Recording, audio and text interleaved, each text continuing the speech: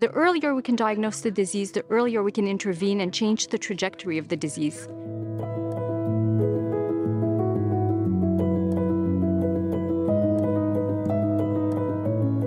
Pulmonary fibrosis is a rare disease, and so it's not often top of mind or a common diagnosis when they go see, say, their family physician when symptoms start. A lot of the time, patients are diagnosed with something else that's more common, like COPD or asthma. I think one of the other problems is that it doesn't often show up on things like chest x-rays, which is again a common first diagnosis tool. You really do need that CT scan to diagnose ILD, and that can often happen later on in the diagnostic pathway. It takes some detective work to try to figure out if your symptoms are due to pulmonary fibrosis or due to some other kind of lung problem. The pathology is scarring of the lung, that lung fibrosis. And once you have scar in the lung, unfortunately, it's irreversible. It's like scar in a skin. Once it's there, we can't get rid of it. What is pulmonary fibrosis? Pulmonary fibrosis, or PF, is the common term used to describe a large family of diseases that cause inflammation and scarring in the lungs. The medical term is interstitial lung disease, or ILD. It's really important to get an early diagnosis of pulmonary fibrosis for several reasons. So the main reason is to understand what your disease is, what pulmonary fibrosis is, so you can learn as much as you can about it. To get help and support from our local and then our national support groups.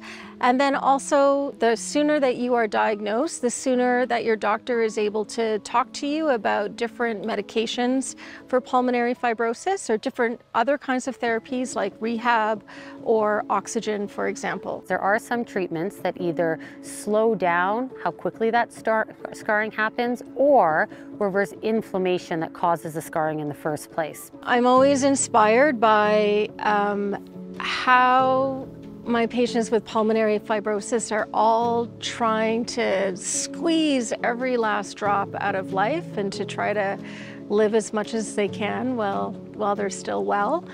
Caregivers are really important to support our patients with pulmonary fibrosis. They really provide not only support but also physical help.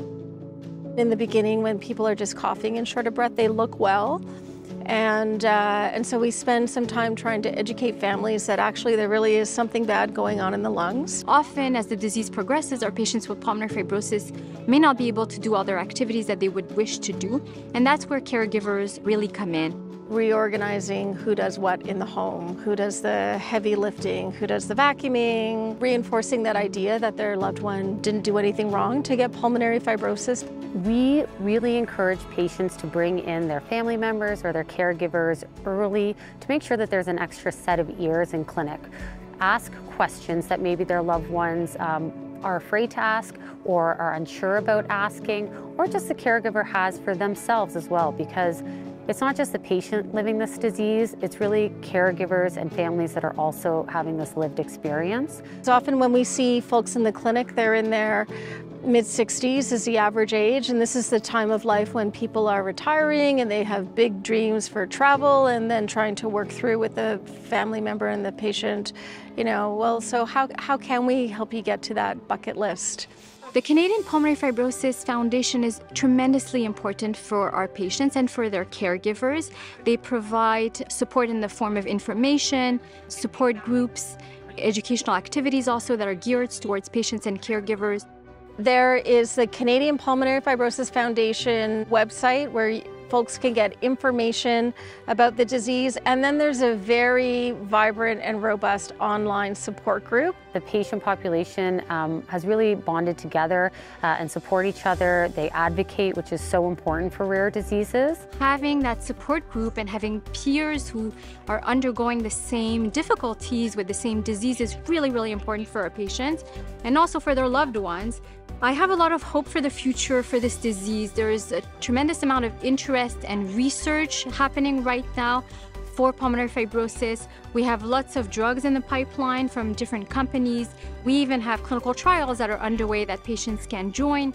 I'm very hopeful that in the next 10 years we'll have more treatments that are going to be more effective at slowing down and hopefully halting the disease altogether. I think it's important to recognize that it's fairly rare as a disease, even though we see it more and more and we diagnose it more and more. We have to address this problem as a society and as a you know medical community by speaking about pulmonary fibrosis, which is what we're doing today, by bringing attention to it, with advocacy, with teaching.